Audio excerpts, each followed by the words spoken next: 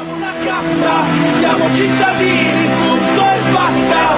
Tutto dove vanno i soldi, gli inciuci, gli inciuccetti, le appalti, le mogli, i mariti, dove vanno le amanti, metteremo fuori tutto, le classificheremo tutti e quando metti un riflettore su uno che ruba, quello lì non ruba più, noi dobbiamo far diventare di moda l'onestà, la domanda e l'offerta per l'onestà.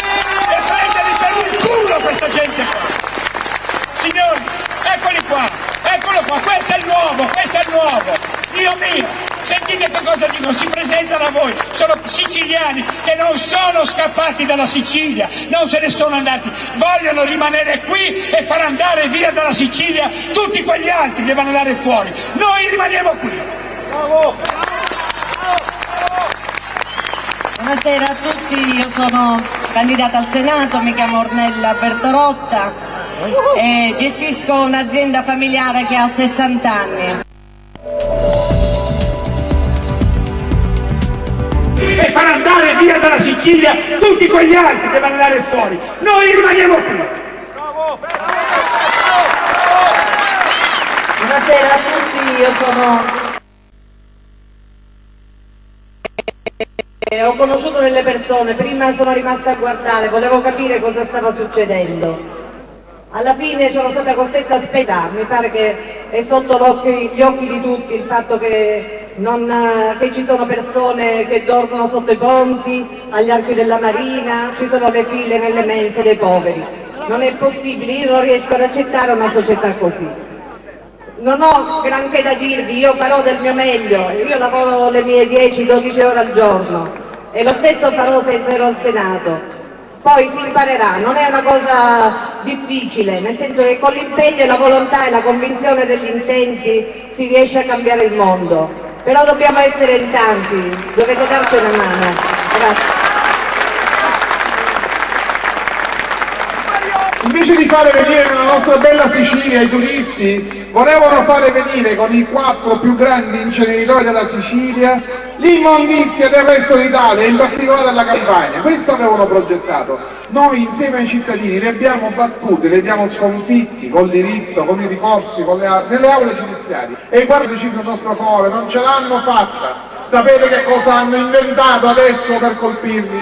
Cos'è che vi hanno derubato? L'ultimo, l'ultimo L'ultima rapina che abbiamo fatto è quella del diritto di difesa. Le battaglie che abbiamo fatto nel 2007 contro gli inceneritori, quelle che abbiamo fatto con i comitati contro i rigassificatori di Augusto, noi adesso non, non siamo più in grado di farle perché nel 2007 abbiamo pagato circa 300 euro di spese, di diritti, di tasse per il giudizio. Adesso per fare un giudizio come quello ci vogliono 54 mila euro per due gradi di giudizio solo di tasse. Non vogliono che voi vi difendiate. Voi questo ancora non lo sapete perché non ve l'hanno detto, non vi hanno tolto solo la sanità, l'istruzione e il lavoro, vi hanno tolto anche la capacità di difendervi. Questo purtroppo lo scoprite quando vi arrivano degli atti giudiziari e pensate che è normale, Andate da un- avvocato cercate di difendervi. Molta gente non è più in grado di difendersi. Noi vogliamo abolire Equitalia, ma quando le persone cercano di impugnare gli atti e scoprono quanto devono pagare di tasse solo per difendersi, restano sconvolte, sconvolte. Beppe diceva una cosa importantissima, il problema delle banche in Italia. Voi dovete sapere una cosa, questo è uno dei, dei- dei cuori del problema del nostro paese, perché la principale attività economica italiana, tutti noi pensiamo sia la Fiat o forse un altro industriale, no, no, astronomiche e in queste cifre astronomiche sono coinvolte le banche, proprio le banche italiane, i banchieri, i finanzieri che si sono messi in galera da questo momento, in questo momento. Queste cose le abbiamo apprese, non, non perché ce le dice Beppe Grillo, non perché ve le dico io, perché le dice un'altra banca. La Banca d'Italia ha fatto un rapporto, ha detto che il giro di affari presunto del riciclaggio ammonta a 450 miliardi di euro.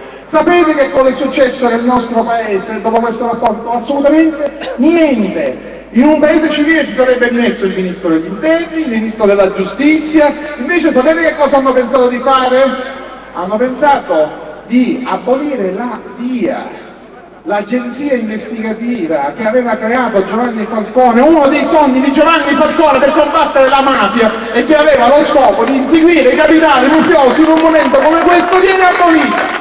Queste sono le persone che ci governano. Noi, voi, non abbiamo più tempo, dobbiamo combattere tutti insieme da cittadini. Voi cittadini dovete andare con noi nelle istituzioni per immettere un la parola fine a tutto questo. Grazie.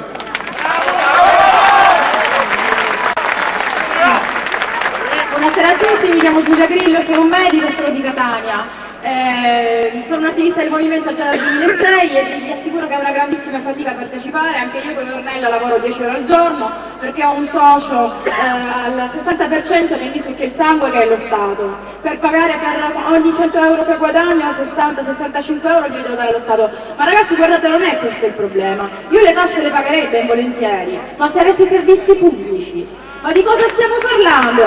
Ci dicono, ci dicono voi non avete un programma, ma il programma è l'attuazione della Costituzione e i servizi pubblici. Io voglio i trasporti pubblici, io viaggio Catania Messina tutti i giorni, devo prendere la macchina, devo spendere 60 euro ogni giorno di macchina, non è normale, non c'è una, un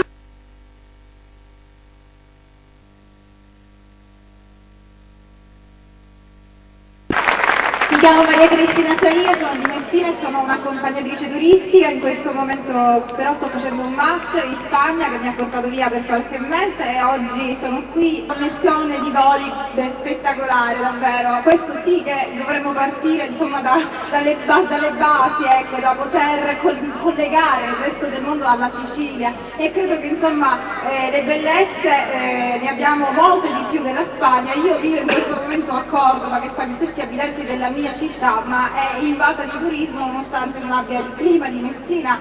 Insomma, io vorrei parlare di turismo accessibile, che ho scoperto a Ciona, a Barcellona di Spagna. Loro fanno una copia di un bene, fanno toccare con vedere.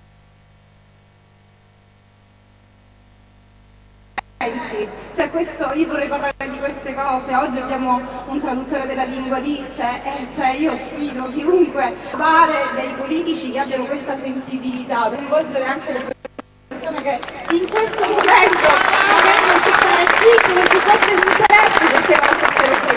Allora io vi prego davvero, io, no, io sono andata via dalla Sicilia e devo dire che l'ho amata eh, grazie ai turisti, l'ho amata grazie agli altri. Eh, adesso per esercitare il diritto di voto, di che cosa stiamo parlando? Vi prego soltanto di eh, di fare eh, leggere un articolo, che sia quello che potete, ognuno di voi veramente si, vi dovete attivare perché noi non ce ne dobbiamo veramente andare.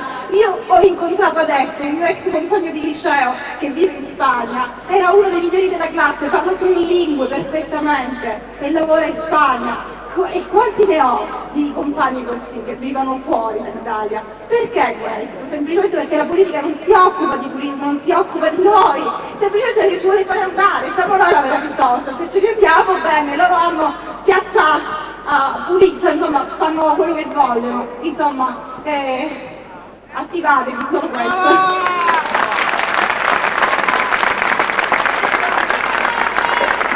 Buonasera a tutti, mi chiamo Tommaso Currò, ho 39 anni, lavoro all'ST Microelectronics, sono un dottore in fisica. Conoscete la realtà della microelettronica qui a Catania? È una realtà sana, una realtà industriale che ha creato ricchezza nel territorio facendo profitto, l'azienda ha fatto profitto ma ha anche arricchito il territorio perché ha adottato una politica giusta, una politica sostenibile che rispetta l'ambiente e rispetta il territorio in cui opera e rappresenta quindi anche un presidio sociale per la comunità in cui opera. E allora noi che cosa dobbiamo fare? Che responsabilità abbiamo noi del Movimento 5 Stelle? Siderurgico e poi accanto delle culture biologiche. Ecco, questa, questa coesistenza noi dobbiamo favorire nel nostro paese, perché non siamo ultimi a nessuno in tema di civiltà. Quindi noi oggi portiamo al Parlamento persone per bene, perché fino ad oggi non ci hanno saputo rappresentare. Abbiamo portato purtroppo il peggio. Viva il movimento, viva Catania, viva l'Italia. Grazie. Sono Angelo Ricorre, sono un insegnante dello scientifico di Acireale. Fino a due anni e mezzo fa io sapevo che cosa fosse un banchetto, un gazebo. Me l'hanno insegnato a Paternò, i ragazzi, ragazzi che condividono il gazebo del comprensorio delle ACI insieme a Paternò. Io mi occupo di scuola e rispetto a quei cartelloni che noi abbiamo visto anche di recente, cioè solo noi vi possiamo guardare negli occhi, io gli alunni li guardo negli occhi e non potevo stare più fermo dopo tanto tempo e non sentirmi responsabile del fatto che nessuno in Italia, a parte il Movimento 5 Stelle, si eh, stesse assolutamente allontanando da quelli che sono i bisogni di ogni singolo individuo, cioè la prospettiva del futuro. Con altri cinque ehm, eh, del movimento. Noi stiamo preparando e abbiamo ormai quasi ultimato un disegno di legge che è eh, fenomenale dal punto di vista proprio della rivoluzione culturale, quello di esportare stavolta in maniera eh, virtuosa. Quello che noi prima esportavamo in maniera invece dannosa, cioè eh, educare all'antimafia con i soldi sottratti, sottratti, confiscati alla mafia. Un disegno che noi, cittadina, cittadina eletta all'ARS, portavoce, e che naturalmente, così come Beppe Grillo ci ha aiutato con quella eh, traversata a nuoto, adesso noi speriamo appunto di varare la legalità, ma proprio con la L maiuscola in tutta Italia.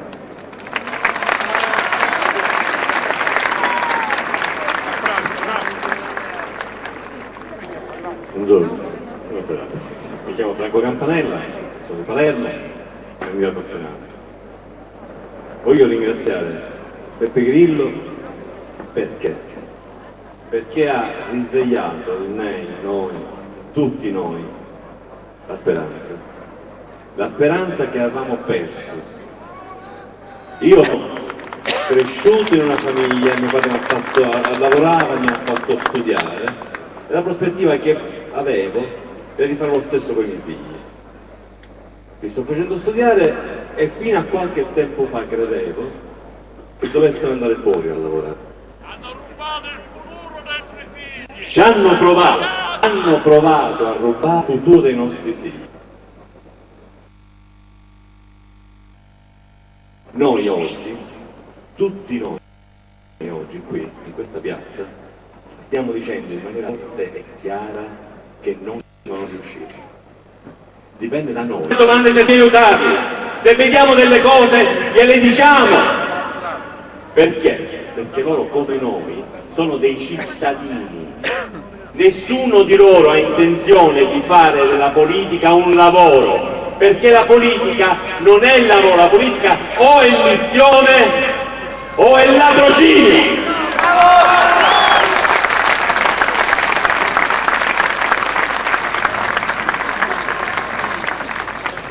Buonasera a tutti, io mi chiamo Maria Marzano.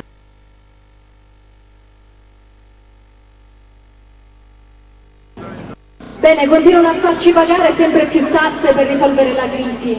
Siamo ai primi posti in Europa per pressione fiscale, ma per quanto riguarda i servizi siamo in fondo alla classifica. L'unico settore che non è intaccato minimamente dalla crisi, dai tagli, anzi dove le risorse vengono aumentate, è quello della difesa militare. Questo nonostante una recente indagine ha dimostrato che la pace e la sicurezza di un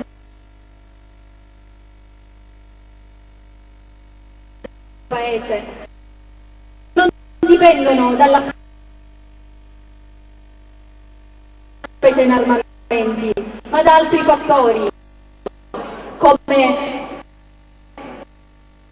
l'equa distribuzione della ricchezza, un basso livello di corruzione, la difesa dei diritti altrui, la libera circolazione delle informazioni e un buon livello di istruzione. E invece nel nostro paese l'istruzione è uno dei settori più colpiti dai tagli. Quelli operati da, dalla riforma Gelmini hanno superato gli 8 miliardi di euro e hanno riguardato il funzionamento degli istituti e il personale. Ora quello che noi proponiamo è la riduzione delle spese militari, l'abolizione del finanziamento pubblico alle scuole private in maniera assicurare risorse per attività di laboratorio, percorsi individualizzati a favore dell'integrazione degli alunni che hanno bisogni speciali, il tempo pieno, l'innovazione tecnologica, la formazione in servizio degli insegnanti, la riduzione del precariato. Quindi l'unica arma sulla quale vale davvero la pena investire è sicuramente l'istruzione. Buonasera. Sul palco.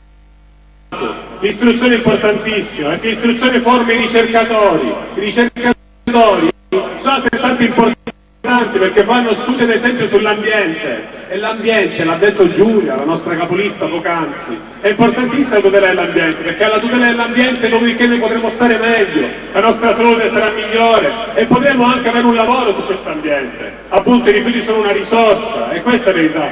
Noi stiamo proponendo un modello diverso in cui nessuno deve essere lasciato indietro perché siamo tutti necessari, siamo tutti indispensabili, ogni anello della catena, questa è l'Italia, siamo una grande famiglia. Grazie a tutti.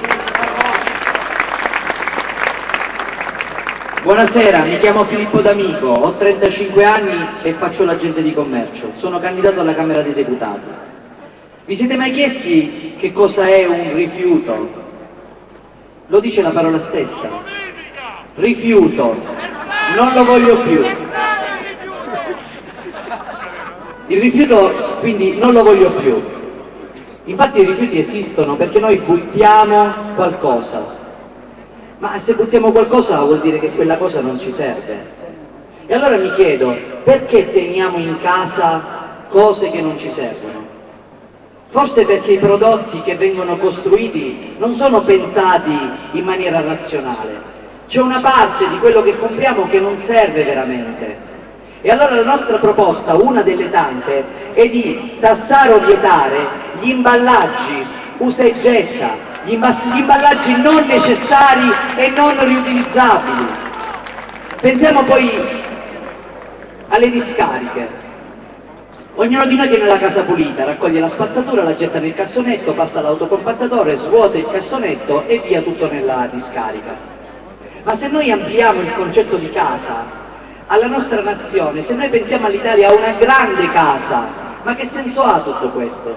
È come se pulendo la nostra abitazione nascondessimo la monnezza sotto il tappeto. Questo è il concetto di discarica e noi non ne vogliamo più. Non vogliamo più nemmeno gli inceneritori perché bisogna acquisire la consapevolezza che bruciando ad altissime temperature, materiali come alluminio, vetro, questi vanno a depositarsi sugli alimenti che poi noi diamo da mangiare ai nostri figli e poi ci chiediamo perché, come diceva Giulia prima, vengono i tumori. Invece degli inceneritori e delle discariche, il Movimento 5 Stelle propone, c'è Sicilia per esempio, che ha una vocazione agricola, i centri di compostaggio, all'interno dei quali si può trasformare l'umido, la frazione organica della spazzatura, in compost, che è un concime di ottima qualità. Insomma noi proponiamo e vi proponiamo di cancellare dal vocabolario la parola rifiuto, che è una spesa, e trasformarla in risorsa, che è un profitto. Grazie. Signori, ora vi faccio presente, vi presento l'ultima cosa, abbiate ancora qualche minuto di pazienza. Sono quelli che sono entrati dentro la regione, che sono stati eletti, quei 15 kamikaze che sono dentro, che stanno facendo delle cose straordinarie e stanno facendo una battaglia sul MUOS in una maniera straordinaria, ve la raccontano loro. Buonasera a tutti, io sono Francesco Cappello. Come voi sapete, almeno 15 o 20 giorni fa abbiamo approvato all'Assemblea regionale siciliana una mozione contro il MUOS, con la quale il Parlamento siciliano ha detto no agli americani. Nonostante questo impegno il Presidente Crocetta ci ha preso in giro, ha preso in giro tutti i siciliani e ieri noi 15 abbiamo detto basta, Gli abbiamo detto votatevi voi le vostre cose perché noi non ci stiamo. Noi siamo siciliani e vogliamo risposte concrete, quelle che ancora non sono arrivate. E così ce ne siamo andati.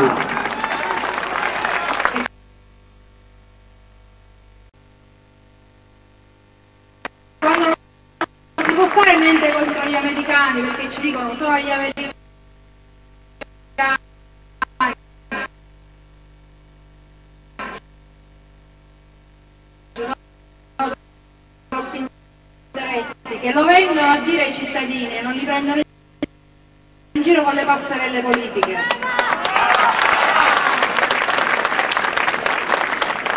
Ragazzi, il nostro ruolo è prima di tutto coinvolgervi nella politica siciliana, quindi abbiamo creato uno strumento che sono le commissioni parallele. Ancora diciamo eh,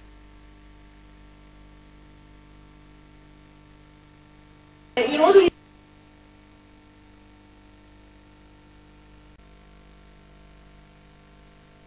Non solo abbiamo presentato un disegno di legge, eh, ancora è un primo passo perché ehm, abbiamo imposto, almeno speriamo che ce lo votino, eh, di eh, adeguare i costi della, della politica, i- gli stipendi dei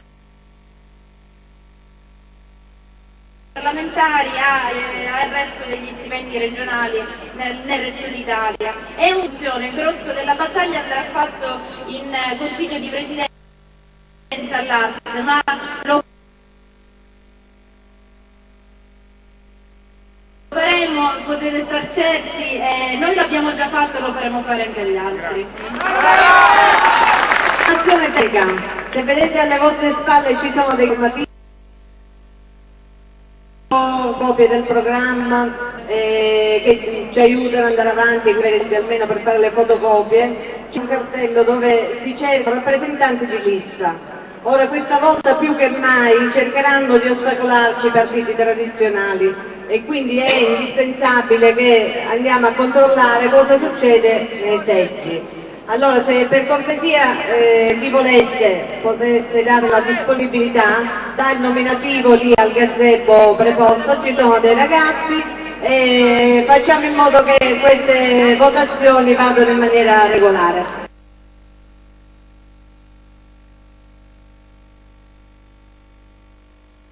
Inizia tutto, abbiamo questo trenino da prendere, se non lo prendiamo noi non lo so cosa possa succedere perché se tocchiamo noi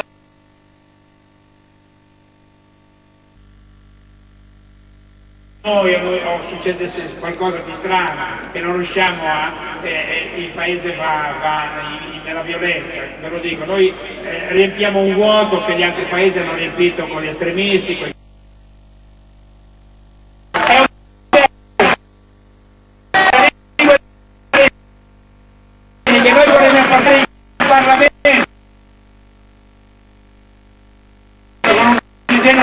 per l'approvazione per i sordi. Facciamo tutti un saluto ai sordi, un abbraccio e ci vediamo in Parlamento, fuori e dentro. Arrivederci.